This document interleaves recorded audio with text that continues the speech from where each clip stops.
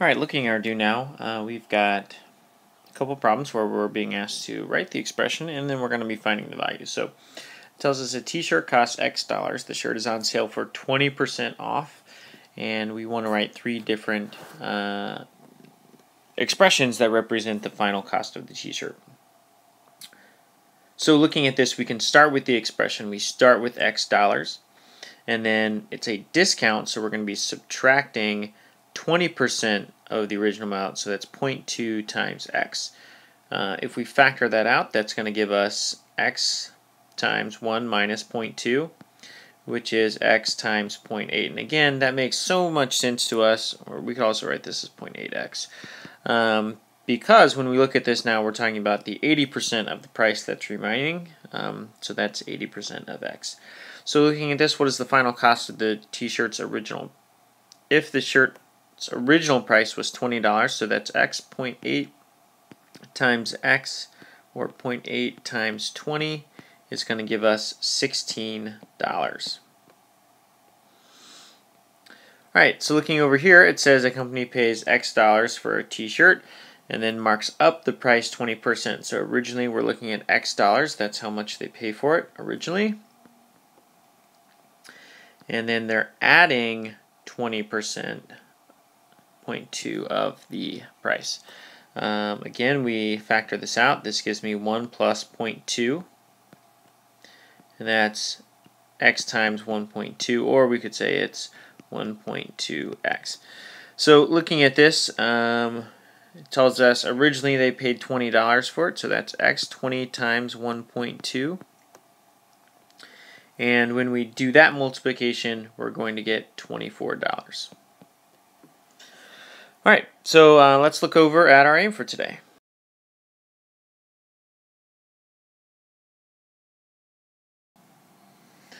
All right, so what I want us to consider here um, as we write our aim today is that we're going to write if-then justifications for equivalent events. Right, if-then justifications for equivalent events. Okay, so we have two players here.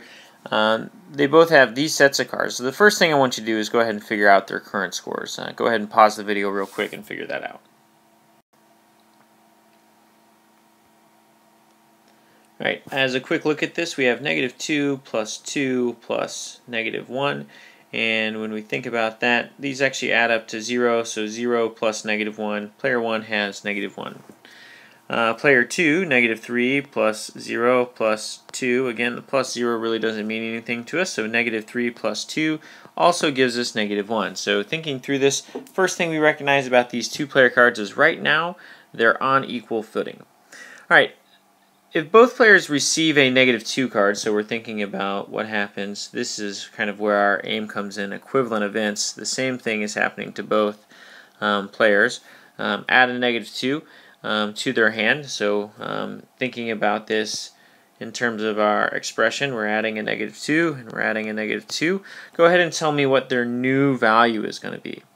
After that, they both receive a 1 card, so go ahead and um, add that to their set and tell me what that value will be after that. So we're looking at this. Look at these two values. Once you've got those two values, go ahead and start thinking about, hmm, what can I do here? What does this mean? All right, so pause the video um, until you've done that and get that all sorted out.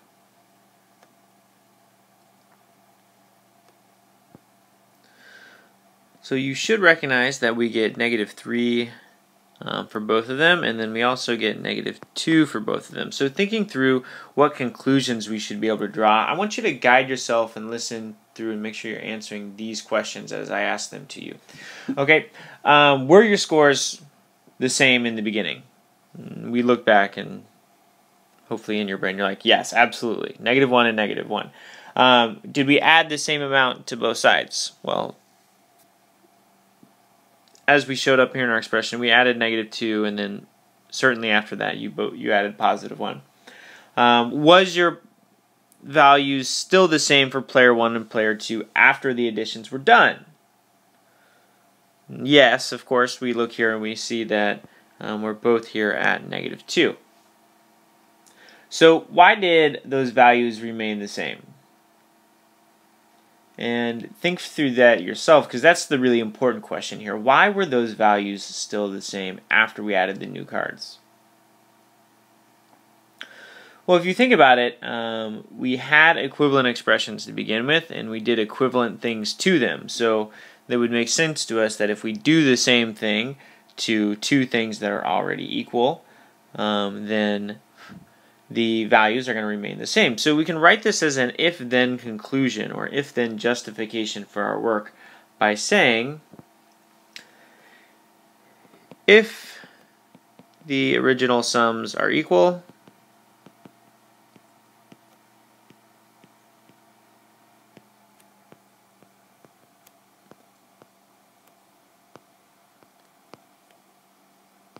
Then, so this is where that if-then statement comes in. If something happens, then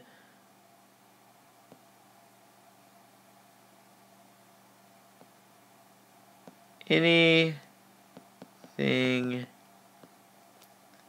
added to both will keep them equal. So just thinking about that, um, another way we could have said this, if the original sums are equal and we add the same thing to both of them, they will remain, then they will remain equal, okay? So two different ways to think about it. All right, so going back to their original hands, um, what would happen to, what would their new scores be if they discarded a 2? In other words, if they took these 2's out of their hands. And so remember, um, when we're thinking about that, that's thinking about subtraction. Um, but realistically, uh, we see that if we take away the 2's, then we can really just think about it as adding negative 2 plus negative 1 and negative 3 plus 0. So hopefully we identify here that it's negative 3 and negative 3. So write the numerical expressions that represent their hand and the change. So what I'm asking you to do here is think about the original addition was negative 2 plus 2 plus negative 1 and then we subtracted away the positive 2. Same thing here, we have negative 3 plus 0 plus 2 and then we subtracted away the 2. And what we can see here is thinking through this again, asking yourselves this string of questions and answering them kind of as we go along here. Um, did they originally have the same value of the cards? Well, yes, as we go all the way back, we do say that they have the same cards. Did we have the exact same cards remaining after we took away the two? No, but how did the values compare? Mm, you should be thinking to yourself, well, they were still equal.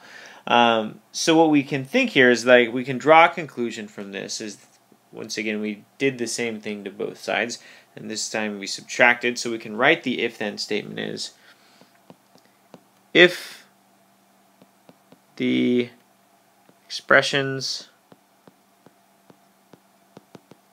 start equal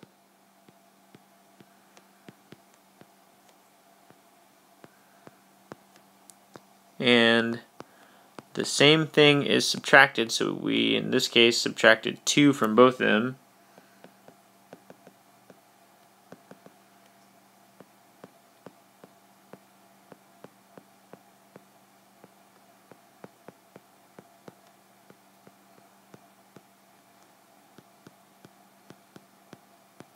then they will stay equal. Okay. Sliding on over. We have two players um, in the Integer card game. Uh, this one looks a little bit different. So looking at this, uh, we can see the players have 2, 3, and negative 1, and 2, 1, and 1. Um, go ahead and find their current scores, and then go ahead and answer this question. What would their new scores be if they tripled their cards? All right, go ahead and do that. Pause the video if you need to before I go ahead and start for you.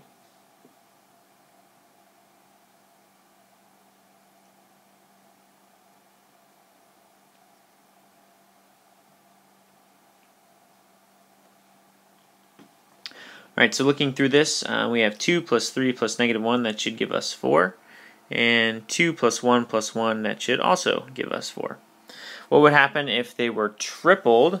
Um, so coming down here to the expressions, thinking about it this way, this would be 2 plus 3 plus negative 1 plus another 2 plus 3 plus negative 1 plus 2 plus 3 plus negative 1. And that's a really long way to write that out. If we think about that, this is really just repeated addition for tripling this of this. So what is a different way that we could write this expression? It's the repeated multiplication of this, or sorry, repeated addition. So we know this is 3 sets, or 3 times 2 plus 3 plus negative 1. So um, thinking about that, that's a different way we could have written this. Um, their new scores here are 12 and 12. Go ahead and write for me um, the two equivalent expressions that you could be using uh, for player 2 um, as he triples his cards.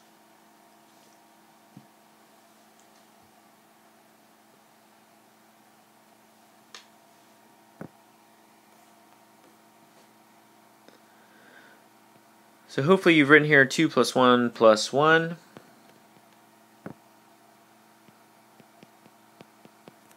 Plus 2 plus 1 plus 1. Plus 2 plus 1 plus 1. So again, we see the three different sets here of 2 plus 1 plus 1, which we could rewrite as 3 times 2 plus 1 plus 1. So again, we see we should see a similar conclusion here that I think that maybe you should be able to write on your own. Um, so go ahead and write an if-then statement um, thinking about the conclusion of what happened here um, when we started with these equivalent values. We multiplied both by 3.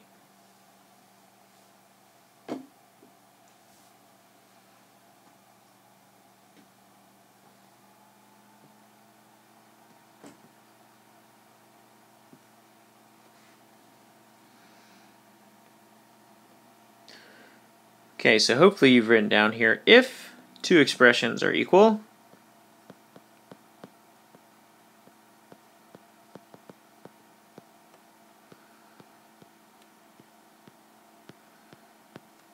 and both are multiplied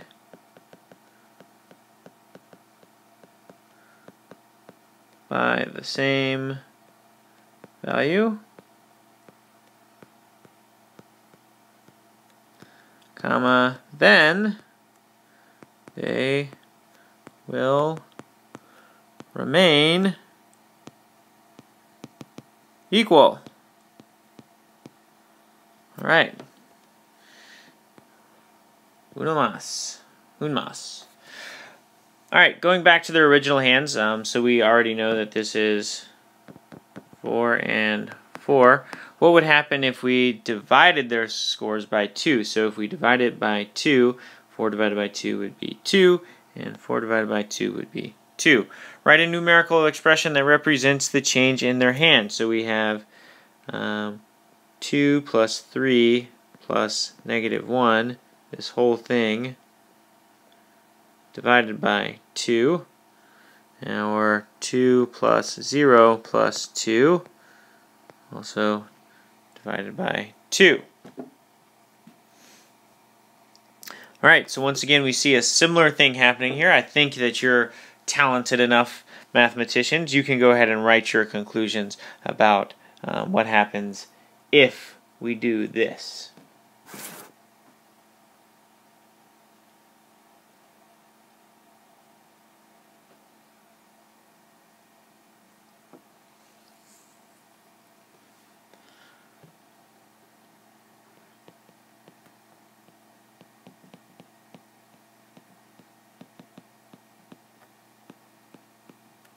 So if expressions are equal,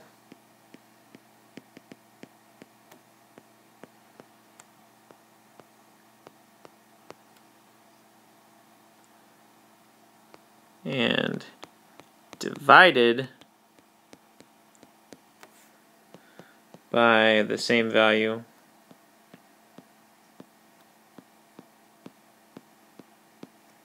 then, comma, then, they will remain equal. Alright, so before we move on, let's think about kind of the sum or the general gist of everything that we've talked about and all the conclusions we've drawn today.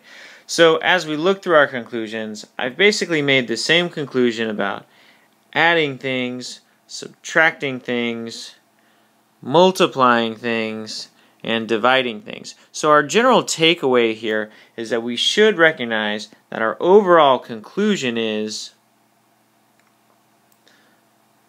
that if expressions are equal,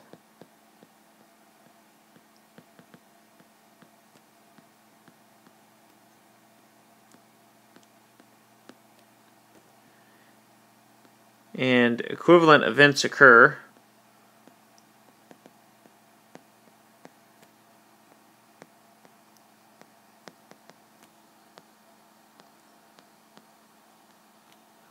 then they will remain equal. Now, some of you should be drawing some conclusions as to the relevance of this to some of the work that we've already done or that you've seen before. Um, this is called the property of equality. Um, and when have we seen this before? When, when do we constantly talk about doing the same event to possibly two expressions? And hopefully you're thinking about this. This happens every time that we start solving equations, when we do something to one side of the equation, then we must do it to the other. And that comes from this idea that we've just proven that if expressions are equal, then equivalent events will make them remain equal. And that's how we get through solving equations is we're doing equivalent things and we're expecting both sides to remain equal. So that's kind of our big key lesson from today. Um, let's move over to the uh, partner work time so I can just give you a handful of instructions before you let loose. Alright, so looking through this really quickly, uh, what we see here is we have this table where we have a hand and we're going to do the same thing to both of them. So this first step tells us that we add 4, so we see they've taken the original expression and they've added 4. So we'd want to do the same thing for this one. If we wanted to write the expression 0 plus 5 plus negative 6 plus 4, um, then it tells us that we want to multiply by 3. Make sure that you're thinking about um, order of operations, they want to do all of this first and then multiply by 3. So we have to make sure that all of this addition happens first, even though PEMDAS would say additions would all happen last. So we're going to put that all in parentheses, 1 plus negative 4 plus 2 plus 4 plus, or my, sorry, minus 1. Multiply all of that times 3 and then divided by 2, um, we'd want to make sure that we put a division of 2 at the end. So then we're also thinking about the results um, and what we should hopefully see because the whole point of this is thinking about equivalent things. So hopefully these are going to turn out equivalent. This would be negative 3 plus 2 would be negative 1 and negative 1. And so you're supposed to find the results all the way through um, to figure that out. Then coming down, um, we have an original expression, um, find out what it's equal to, um, and then you want to create your own equivalent expression, um, adding any two numbers of your choosing that would be equivalent. Um, then I want you to write the new expression. Um, if you were to multiply it by 3, so negative 3 times 3 plus negative 5, tell me what that's equal to. Uh, do the same thing over here with your equivalent expression. And then we're going to use the if-then statement um, to kind of fill in these blanks. So if 3 plus, sorry, this should be 3 plus negative 5. That's what it says on your paper. If 3 plus negative 5 is equal to whatever expression you chose, then negative 3 times 3 plus 5. So if we multiply one side by negative 3, multiply the other one times negative 3, um, we're going to see that these are still going to be equivalent. That's the whole point of this if-then statement. All right, um, go ahead and take a moment to um, pause the video, go ahead and fill out the rest of this work, and then check back in um, to double check your understanding of today's lesson before you move on to your alone time. All right, as we check into this, um, I want to just kind of quickly make you pause and think about some of the work that you did over here. And I'm wondering if you went ahead and you filled out each of these expressions and then you resolved each expression. Or did you simply just go through the results and go, oh, I know that I'm just adding 4 to this result, subtracting 1 from this result, multiplying this result by 3. Um, so if you do, what we're thinking about it is a lot of times you're also, you're kind of thinking about this as, this is an equation. And so as you're doing one thing to one side of the equation, you could do the same thing to the other. So this is once again, we see that skill. We have two equivalent expressions. A number all by itself is indeed an expression. Um, and we are doing the same thing um, to both expressions. They're going to remain equal. So we don't actually have to go through and individually solve each of these if we're thinking about each of these working as their own individual expression. And I imagine that's what many of you did to save yourself the time and the trouble. Looking down at this below, um, you don't need to have the exact expression over here, but something along the same lines. Um, and then once again, we see down here this if-then statement tells us if 3 plus negative 5 is equal to 2 plus negative 4, then negative 3 times 3 plus 5 is equal to negative 3 times 2 plus negative 4. Because if we do the same thing to two equivalent expressions, they will both remain equal. Um, that's kind of our big lesson for today. All right, move on over to your alone time. Make sure that you answer each part of each question, um, and then you should have some time to work on some con. All right.